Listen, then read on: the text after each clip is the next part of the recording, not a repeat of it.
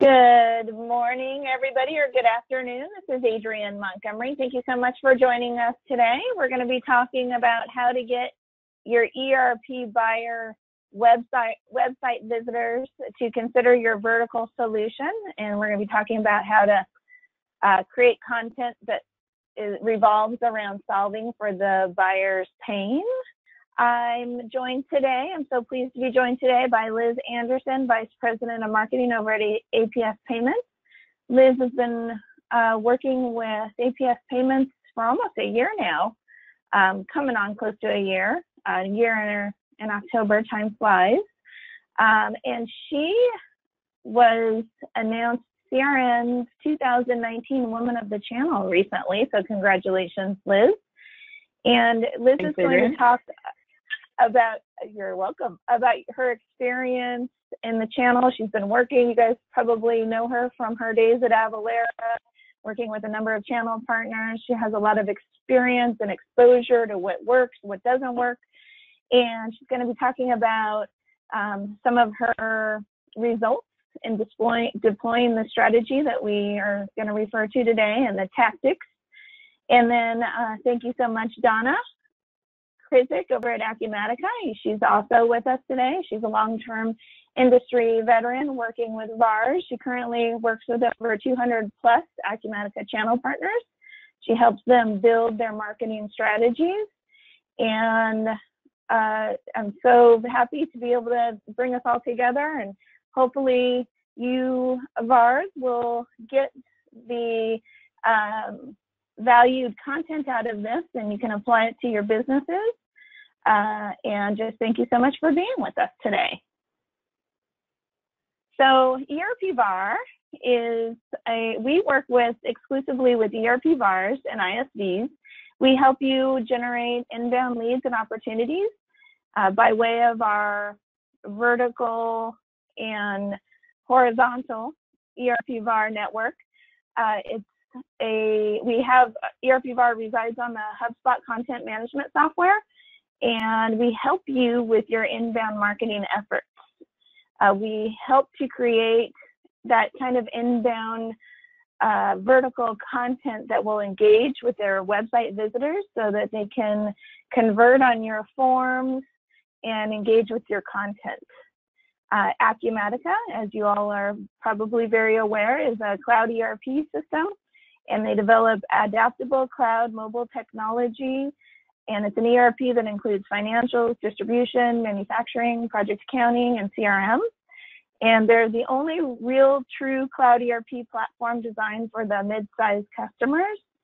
And APS Payments offers flexible and integrated payment solutions they're a full service merchant services provider and they help thousands of merchants daily process those integrated payments with Acumatica. They also work with other leading ERPs and they offer click to pay with Acumatica so that you can just go ahead and have the ease of use of paying right from an invoice in Acumatica. So I'm going to go ahead and let Donna speak to this slide. She's going to talk about some of her experience that she sees with VARs. So thank you so much, Donna. Sounds great. Thanks, Adrienne. So I just wanted to provide a little context. I know that um, going vertical has been the drum we've been beating on for quite a while. And um, the thing that we emphasize at Acumatica is that you don't need to convert your whole practice to be industry specific tomorrow. You start small and you look at your database and you focus on, you know, a tiny slice, whatever that is comfortable for you, um, where you have some subject matter expertise and you speak the language so that your sales cycle gets a whole lot shorter. And companies who've done this really see those results. And this uh, the slide that I've got here has some outbound campaigns that we have run for our partners. They provide us with their list and we send out a series of uh, four emails over eight weeks and designed to take some warm contacts and move them through the funnel. So you can see the, the stats here vary widely and a lot of that is on the quality of the list, but the partner that I've highlighted here they focused on an industry. Their list was from a trade show, and they took all of those names, they gave them to us, and to date, they're you know they're they're done with the outbound email sends. We're done with that, but we're still doing call downs to everyone who clicked, which there are 37 of those. So they had the highest response rate, the highest click-through rate. So that means their list is good and targeted, and it means their messaging is reaching the right people. So they're doing everything that we're going to look at today from Liz and Adrienne. So just a good illustration to show you, you think that by focusing on an industry that you're limiting yourself when really you're just making your life easier. And like I say, start small. This is, you know, I'm sure, you know, of their their database, 542 names, this is a tiny fraction of it. But out of that, they've got 37 warm opportunities now that they can nurture and they're getting our help on that. That's really all I wanted to cover. I'll hand it over to you well, guys. Thank, thank you, Donna. So um, what Donna um, is showing here are results from having that communication that the audience is engaging with because you're speaking their language.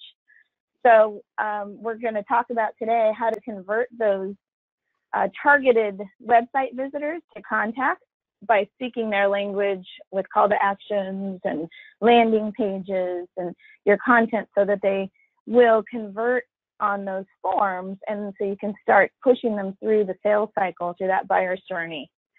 Uh, so we're going to also talk about how to differentiate your vertical offer and then how marketing and sales come together. So we're really recommending to pick one to three verticals based, based, um, based on your bandwidth and really stick with them and be consistent. Write all your content focused on these verticals so that when visitors visit your website, they can tell that you're the expert in their industry. And they'll stay with your content longer. They'll read more of it because they know that you know how to solve for the, the pain that they're looking to solve for in their specific industry. If you're too generic, you might not be getting any real traffic back to your website, that targeted traffic, uh, because you're trying to write your content for a more horizontal audience. And so it's really not resonating with anybody when they come back and visit your site. So uh, you want them to stay on your site, engage with your content, and you want to take that reader through the workflow and story so that they understand how you can help them specifically. And you know, sometimes you might be thinking that your words mean something to a target audience, but they might not mean uh, what you're intending it to mean to your target audience. You know, for example, if you wanted to go go after food service distribution companies, that might be a little bit different than food distribution companies. Food service distribution is a whole nother, you know, is a, is a vertical in itself. So talking the language and walking the walk so that when they when the visitor comes to your website, they know you know their business. And then here's a couple vertical CTAs I'd just like to cover for, you know, for webinars. If you're doing webinars, uh, you want to create calls to action that really resonate with that vertical market. So here at ERP VAR, we work with a lot of ISVs. So ISVs are targeting VARs like yourself they're also targeting customers that are probably already using a vertical uh, an ERP. So they want to make sure they they keep their content focused on a particular ERP ERP because the customer is already using it and the VAR represents it.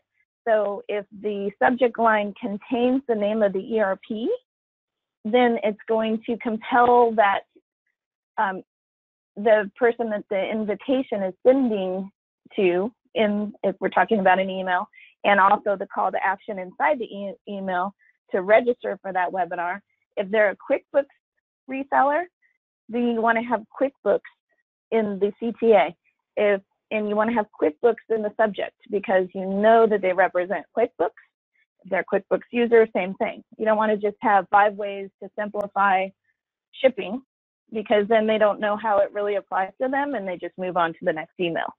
Um, if you know you're talking to an Acumatica uh, end user or an Acumatica VAR, you want to have Acumatica in your call to action because that's your audience. If you want to target healthcare organizations and you know you're sending that email invitation out to healthcare organizations, you want to have healthcare in your subject. You want to have healthcare in your call to action inside the email or on your landing or on your website where you're trying to drive traffic and tra- drive conversion for that particular webinar. Liz, this is where you come in with APS. These are specific examples with APS. I'll go ahead and let you talk to this slide. Great. Thanks, Adrienne. I've got some transitions here, so I'll tell you when to click next, okay?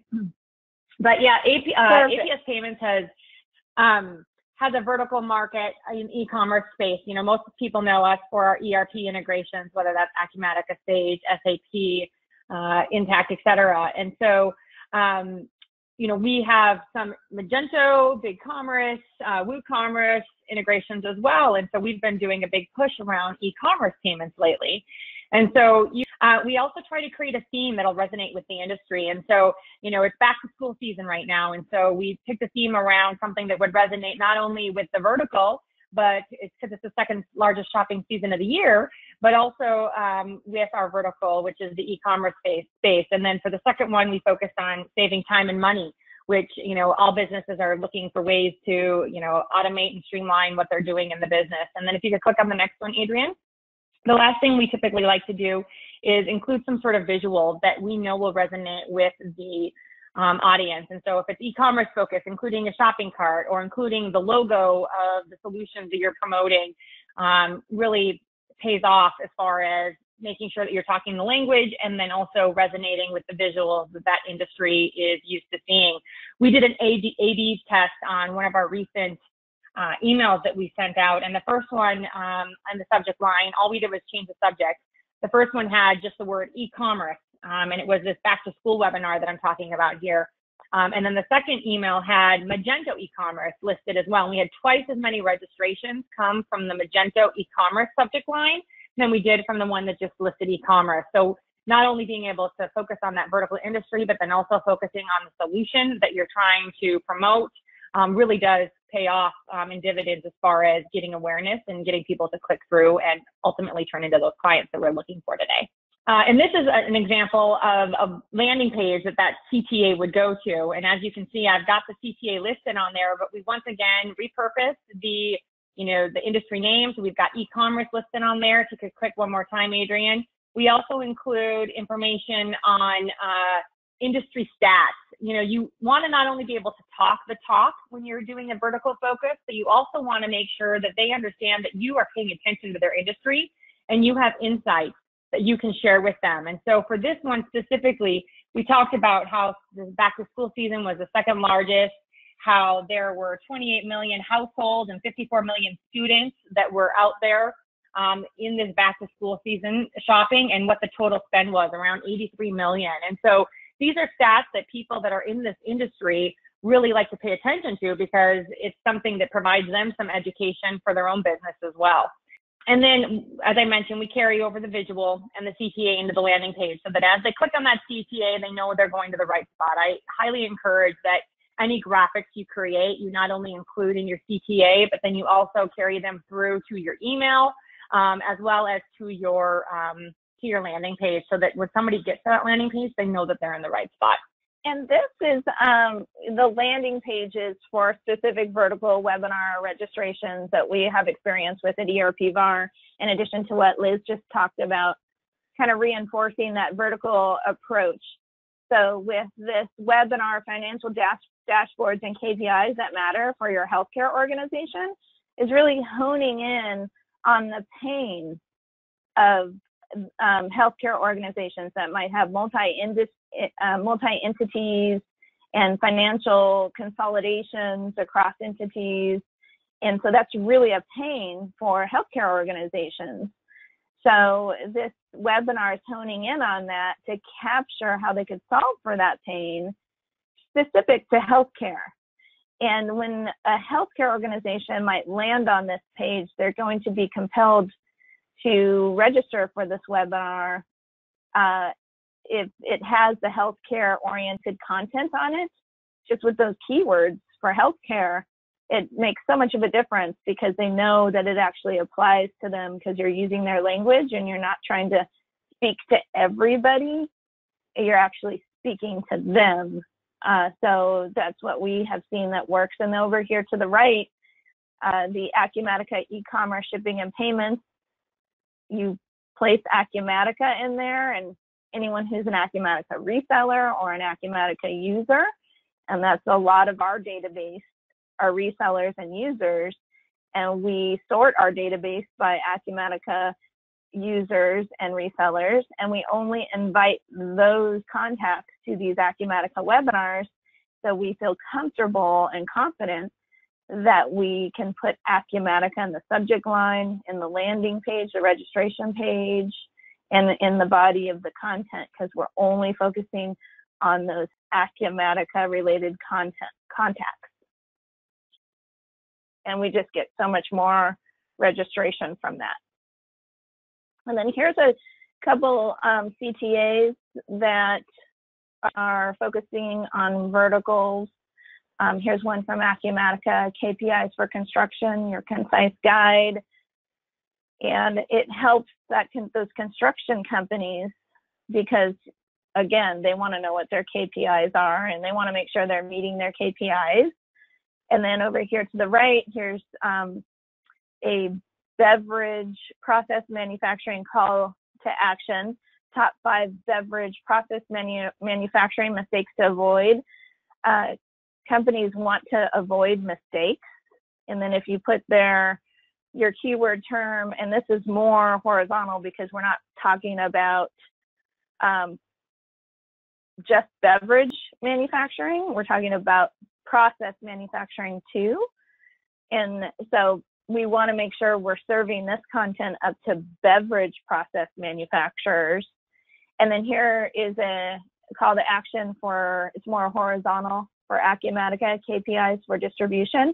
And Donna, I wanted to ask you, are you okay with your VARs taking these call to actions and um, let's say they wanted to focus on food service distributors. Would you be okay if they took this call to action from your website and just altered it a little bit with a vertical keyword in it and put this call to action on some of their website pages? Is Acumatica okay with partners doing yeah. that? Yeah, we we fully support it, and um, any partner that's looking to to leverage resource that we have or some of the content pieces that we allow folks to rebrand or use as is. And a lot of the ISVs offer similar um, white papers available for VARs to repurpose. Um, so I agree with Don on that front. Taking advantage of the resources that are out there and not creating something on your own um, can help you extend your marketing reach that much further with minimal effort. And so here's a couple vertical landing pages that are examples that are coming from those call to actions that I just showed you. So top five process manufacturing challenges and how to overcome them with automation, landing page form, and then want to complete the form, it automatically redirects you to the uh, download. You can also take the visitor to a thank you page automatically, redirect them to a thank you page where they can find the the white paper or flip book or whatever it is that you're you're giving out. Uh, you can also send them to a thank you page, and that has vertical content on it. So building your content strategy to resonate with that vertical audience is key because you're compelling them through the process. And then here's a couple CTA examples for ebooks or flipbooks. Uh, here we have one from Acumatica for the healthcare industry CFO so specifically targeting a title in an industry, uh, which I'm sure you guys would be happy providing similar CTAs like this if you had VARs who wanted to focus on healthcare industry.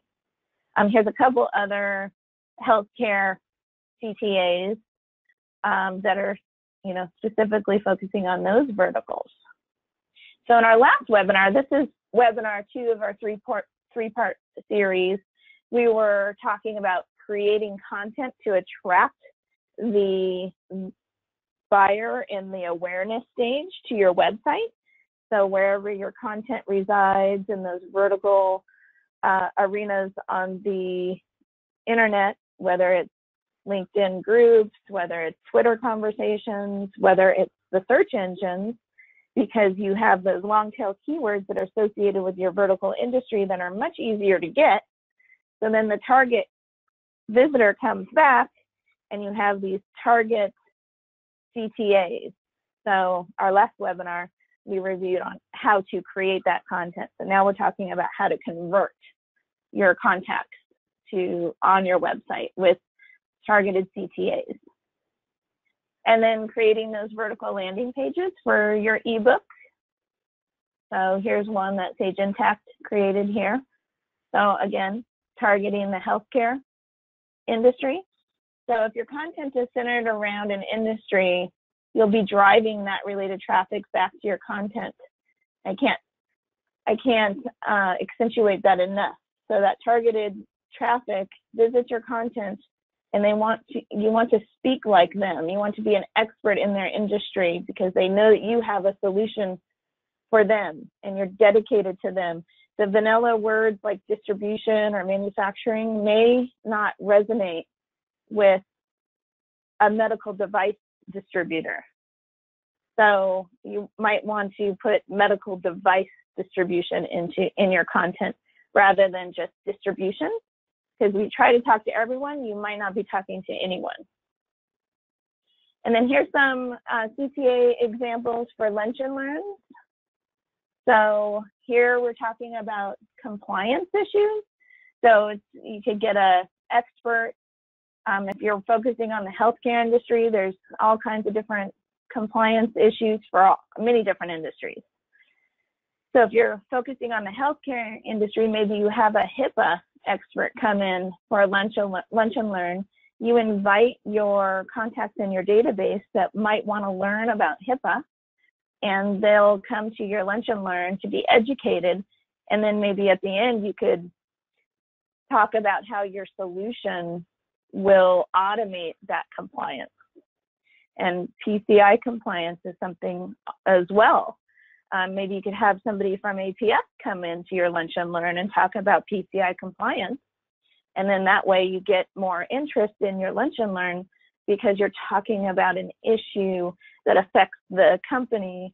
And then obviously you can wrap around your vertical solution for that particular company for PCI compliance. That's more horizontal. Um, revenue recognition is another big compliance issue. So you can invite people to a revenue recognition compliance educational lunch and learn.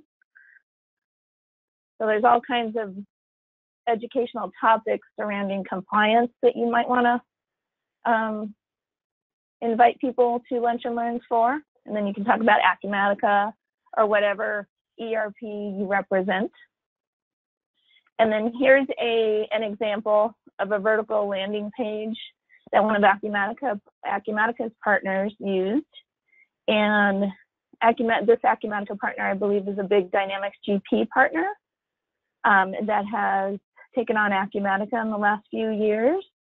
And so they are talking about how they made the switch for their internal accounting to Acumatica and so it's not so invasive, but they're inviting their local customers, maybe for Dynamics GP, to come and learn about the advantages that they experienced after switching from Dynamics to Acumatica. And then so Liz, um, I believe you created this slide. I'll go ahead and Yeah, I did. Uh, thanks. Yeah, I've got some tips I just like to share when you're talking about creating lunch and learns. I've not only um, created lunch and learns from the ground up, but presented at them not only to end users but also to partners. And so, um, have some insight that I'd like to share as you're creating your lunch and learn strategy.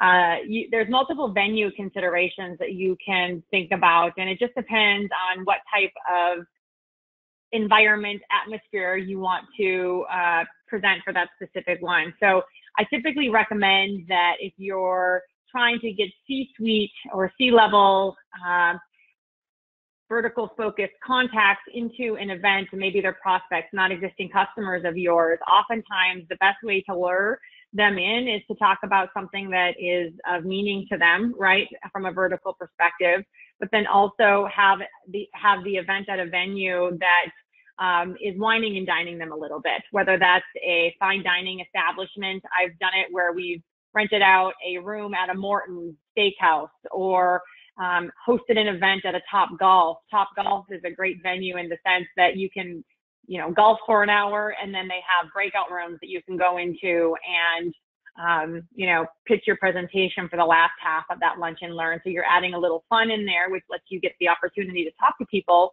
a little bit more versus just, you know, presenting to them and doing death by PowerPoint. Um, but you're also actually getting to engage with them so they build more trust in your relationship um, and that sort of thing. So it just depends on, on what you're looking for. If you're having a lunch and learn at your office, those work great too. For and I would focus those typically on existing customers. You know, bringing them in, showing them new tips and tricks, showing them a new industry solution, um, bringing them in to um, you know learn about some additional vertical enhancements you may have and that sort of thing. So if you're you know focusing on existing customers and trying to do more add-on or upsells to them, um, having it at your office is completely completely fine. Another option is is a lot of ERPs uh, and e-commerce plat partners, publishers that you work with have offices located throughout the country, and so sometimes they'll let you rent out um, their space, even often free of charge, um, to host your event there. So um, by doing that, you not only get the recognition of that brand name, but also get the opportunity in some cases to have them co-present with you, which is a big draw. And so that kind of gives me to my next bullet point is that bring in industry experts to present, whether that's from the software publisher, maybe they're you're doing a manufacturing focus and you can bring in one of the you know product managers for manufacturing from Acumatica as an example. Uh, bring in an existing customer that is a manufacturing vertical focus um, to talk about you know how they're using the system and, and how they've benefited from from using the solutions that you're trying to sell out to the world. Uh, and then bring in subject matter experts. And so this could be somebody as simple as a consultant at your organization, or it could be somebody that's an industry expert that does speaking engagements and you want to bring them in um, just to share more so that it, maybe they have nothing to do with the software that you're providing. And so there's tons of opportunities to have uh, experts there to help share their insight. And, and the thing about having an industry expert as part of your CTA and as part of your um, venue or as part of your promotion is that that really draws people in. Um, and then the last thing is if you are um, able to um, go ahead and get CPE certified so that you can be accredited and offer credits. A lot of times accountants, um, uh, CPAs are looking for courses to help them keep their you know their CPEs up to date so that they get in enough in a year and if they can get that by spending a couple hours at the lunch and learn um, that, that's another draw to get more attendance there.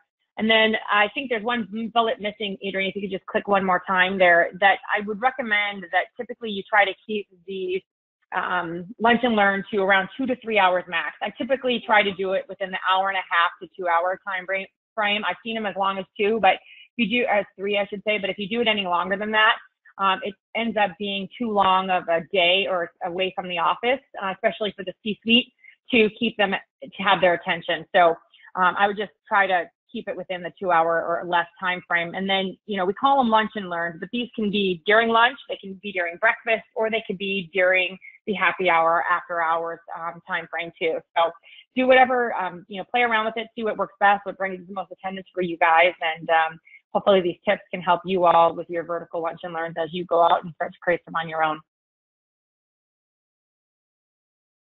And so here we also recommend offering product tours, but keeping the um, CTAs focused on that vertical.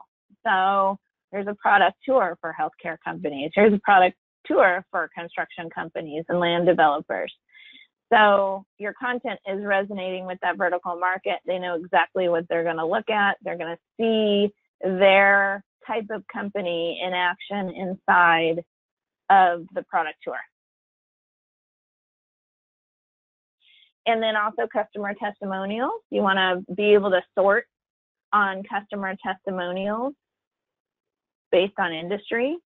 So these are, this is a great resource on Acumatica's website that you can pull up different industry success stories. And you, if you don't have a specific industry right now that you're focusing on and you would like to focus on a specific industry, I'd recommend pulling up some of these success stories and creating content based on the problem that was solved for in these success stories. So you could build a whole campaign around the problems that these companies solved using Acumatica and build out your um, your content for different topics that the that Acumatica is solving, uh, and they're it's pretty clear exactly what was the problem when they were started to review Acumatica and what was the solution. They do a great job of uh, outlining that, and you can build your whole campaign off of these success stories.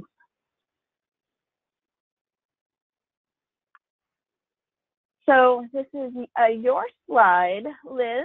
So I'm going to go ahead and click the first click here and uh, thank you so much for reviewing this with us. Yeah, so this is just a couple examples of some case studies that we've done here at APS. And, um, you know, we're talking about vertical industry. And when we started out doing these case studies, they were just happy APS payments customers, right? Um, but we made a concerted effort to make sure that the industry was always called out on these case studies um, so that we could not only do industry marketing around them, but also then know who to call if we have another payments customer that's looking to, to switch over to us. You know, we have a good reference for them that's in their industry that can talk their talk and, and help move them along in the funnel. And so um, I always recommend if you do do case studies, whether they're testimonials or not, to include the the industry vertical in the you know, the description of the testimonial if you can, or in this scenario where we have an actual case study that we use, have it on the front page, front and center, so that it's really out there for people to, to catch their eye and and show them show them to try to have more interest in what you're trying to get in front of them. You could click the next one. And then um, take these testimonials that you get from your case studies and sprinkle them throughout your website, sprinkle them throughout your data sheets, sprinkle them throughout your service promotions, sprinkle them throughout um, social promotions you do, your blogs, etc. Um, and you know, do whatever you can to tie in not only the vertical keywords, but also that quote together, so that you, as people are coming across them and coming to the various pages or social posts that you have out there on that specific topic, they're not only able to see that you can service their industry with the solutions that you're offering, but you have happy customers um, that are also part of their industry. And then last but not least, I've just got another example here of a CTA that we created for one of our um, wholesale customers that um, it shows, you know, it's promoting you to drive to drive, drive to their case study to, to learn more about it. But, you know, we include the wholesale in the description uh, of the first front and center, what we're talking about there. And we put some data in there, data points that they saved almost 40,000 40, annually um, by switching um, to use level three processing. And so another thing that we could have done with this, and we actually have some variations of the CTA, is we could have put the ERP name in there as well, so that you've got multiple things to uh, grab the attention um, of that vertical target that you're going after. And so, thank you, Liz. Uh, and so here is another way to capture the attention of your ERP buyer. Um, offer those comparison data, data sheets specific to the ERP that you're representing and maybe the ERP that they're migrating off or the ERP that they're comparing with you. It's critical, I think, to find out what other solutions the buyer is looking at and have that understanding how you solve pain, their specific pain, in comparison to the other products that they might be looking at. So not offering your competitors before you know that they're looking at them, but taking them through a line by line comparison helps them come to the conclusion that you might have a better solution for their specific problem. And then offering those um, those industry specific customers that you have that have migrated from QuickBooks to Acumatica or are comparing another solution, you can you can easily offer success stories on how your product, um, how your solution is a better fit by helping the um, industry buyer walk in the shoes of another customer. And with a video or a success story, it just really helps compel them to come to the conclusion that you might have a superior solution and your expertise is just the differentiator because you focus on that vertical. And then here's another comparison data sheet. And I'm sure Acumatica would love for you guys to use all of this so you could just take it right from their website. Uh, comparing Acumatica, Acumatica to Oracle NetSuite. And then maybe you could tune this up a little bit for specific industry um, and kind of take their format here and then maybe add some line items for their specific industry.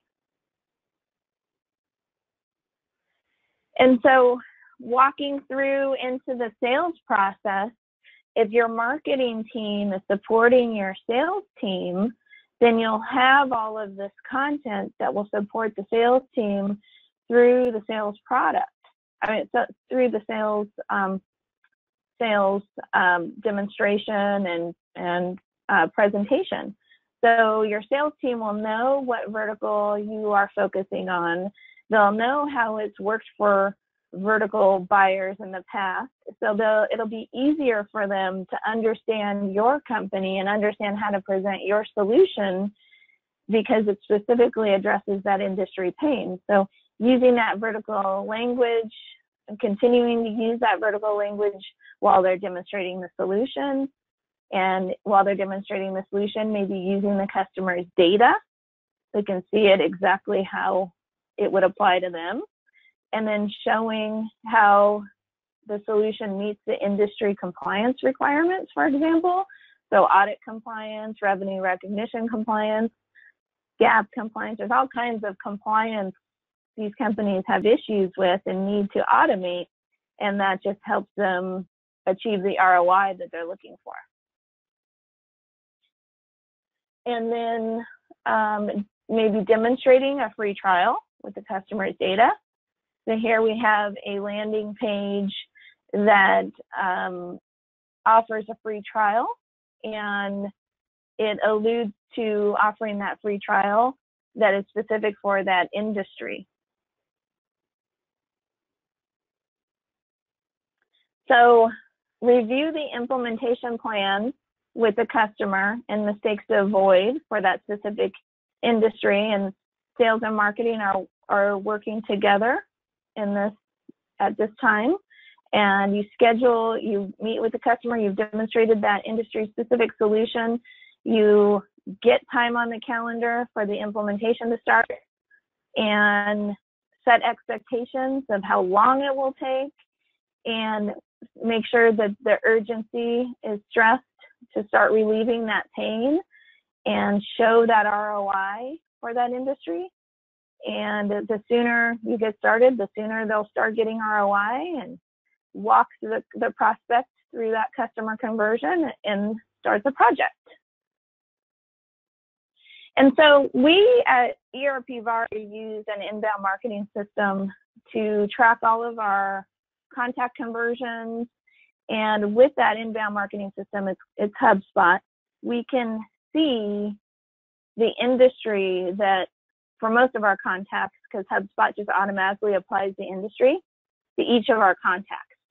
So we can see the number of employees that HubSpot has been able to retrieve from different resources on the internet that they pull that this information in and we can really target vertical our vertical content to the specific industry for the content in our database for the contact in our database so we can build smart content that these contacts see when they come back to our website that's only that they only care about that's only relevant to them so we can do that using these lists smart lists that we build and deliver that vertical content specific to their industry. And then, um, Liz, I wanted to see, did you have any, uh, have you guys been using, I know you're using HubSpot. and you're using, you know, the inbound marketing tools within HubSpot. So um, can you talk to delivering that smart vertical content to the contacts in your database? I know we're working on some projects with you. Yeah, absolutely. I mean, I can kind of go back to that case study example. You know, I mentioned we've got multiple variations of that CTA for reading the case study. And in some cases, we'll say uh, the ERP on it as well. So it might say Sage wholesale manufacturer, right? Um, and so if they come to um, a vertical page, uh, a landing page that we've created that's just not ERP agnostic, we'll render up the um, one that just lists wholesale manufacturing on it, right? But if they go and come to our Sage integrations page, for example, on our website, we'd render up the one that says Sage wholesale to try to make it even more specific to that user. And so um, tools like HubSpot are really great because they let you create content based on various things. So once you've got the people in your database, you can really use that data, whether it's employee size, whether it's industry, whether it's ERP, whether it's e-commerce, and really put content in front of them that you know will resonate with them so that they're more likely to click through and turn into clients um, for your company. Thank you okay, so great. much, Liz. I'm going to close it out with our contact information here. You should be able to see it on the screen. We have a question for you, Donna. Thank you for this question. Donna, does Acumatica have a comparison sheet for Acumatica versus SAP Business One and versus JD Edwards? I don't know that we have one for JD Edwards, but I think we have one for SAP. But I can follow up with our product team to make sure. And that's something we can also request for them to do for us. Perfect. And we'll we have the contact information, so I'll send you the report, Donna. Um, awesome. You can follow up with that question. Will and then the the hardest prospects are the ones that already have SAP Business One or JD Edwards. How can we convince those prospects to look at Acumatica? Well, you know, we would recommend focusing on that industry expertise that you hone in on and that you've dedicated yourself to delivering.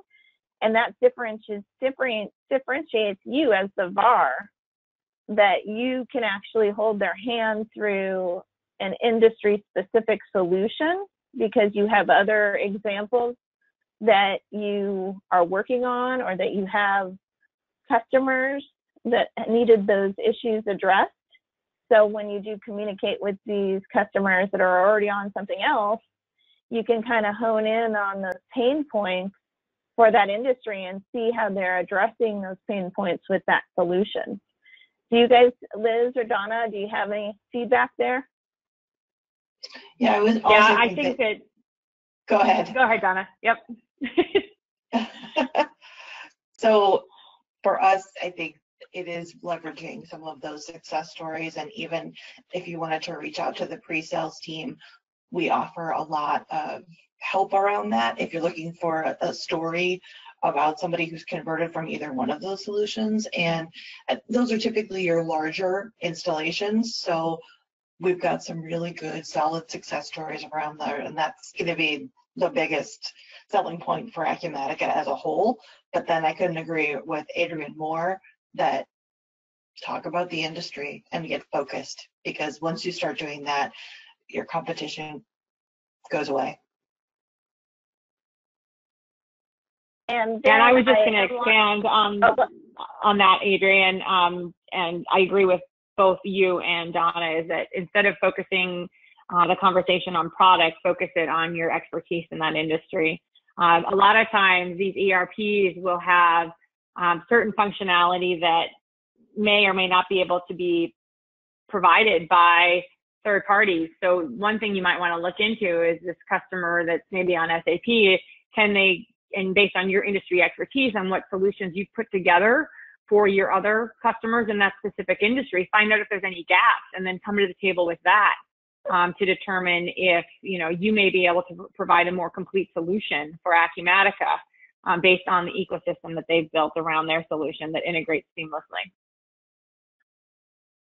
Yeah, if you're all about that industry and they can tell that you get their industry and all of the content that you provide, that resonates with that. Work with a, um, a number of channel partners where we can deliver up their specific content to those contacts who fill out forms on our website that don't belong to anybody else. So if we generated the content, we can create rules in our uh, system for the individual contacts that if when they come back, we can serve up specific partner related content to that contact. So it is, there are rules, it's a rule based system, and you create these workflows.